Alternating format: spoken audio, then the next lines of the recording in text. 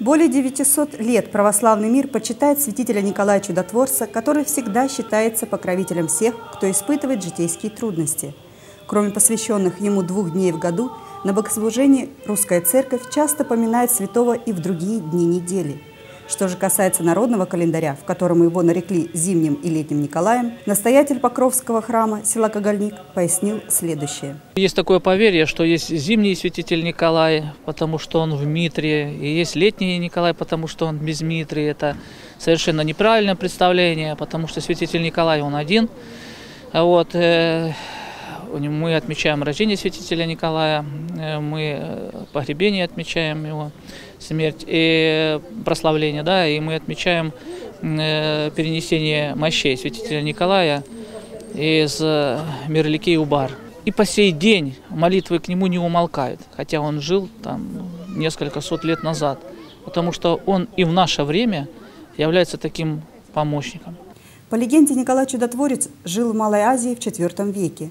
Церковное предание хранит множество свидетельств не только чудес, совершенных им, но и его необычайное милосердие к людям. Именно поэтому очень много возведено храмов и церквей, названных в его честь, а также родители называют своих детей его именем. Хотелось бы, наверное, пожелать э, всем нашим православным христианам, чтобы на их почве э, такой вот возросли такие семена, как семена любви, веры, надежды, Э, смирения, милосердия, э, потому что такими добродетелями мы сможем победить то зло, которое нас пытается вот совратить с э, того пути, о котором Господь говорил. Также в этот день прихожане поздравили отца Николая с юбилейной датой. Много теплых слов было сказано в его адрес, так как с момента назначения настоятелем храма была проведена масштабная работа по капитальному ремонту и реконструкции веренного ему объекта.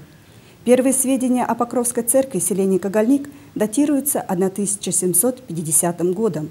За это время она претерпела разрушение и восстановление. С приходом отца Николая в 2010 году в нее вдохнули новую жизнь. Восстановление оно заключалось а, в том, чтобы старые строения нужно было демонтировать, потому что они находились в аварийном состоянии, и на их месте возвести э, новые качественные э, строения. На все это ну, ушло мало не мало, 5-7 лет где-то примерно. Работы были произведены ну, объемные. Здесь и мы все поменяли, не только там электрику, ну и отопление. Мы поменяли кровли, мы поменяли, э, подлили фундаменты, э, потому что центральная часть, она все-таки осталась, она 2014 года, и она просела, фундамента практически не было, цокольная часть начала разрушаться, ее нужно было укрепить, ее нужно было заармировать, ее нужно было подлить под низ. У нас ушло несколько там, десятков кубов бетона для того, чтобы все это Э, укрепить, чтобы здание не разрушалось. О людях, которые внесли свой вклад в реконструкцию церкви, помнят и по сей день. Ведь благодаря ее восстановлению кагальничане зажили по-новому.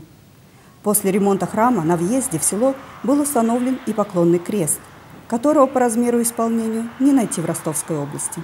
С приходом батюшки отца Николая в храм Наш храм преобразился, как и внешний вид его, так и внутренний. И очень много молодежи стало ходить в храм, очень много-много детей стало приходить, причащаться, исповедоваться.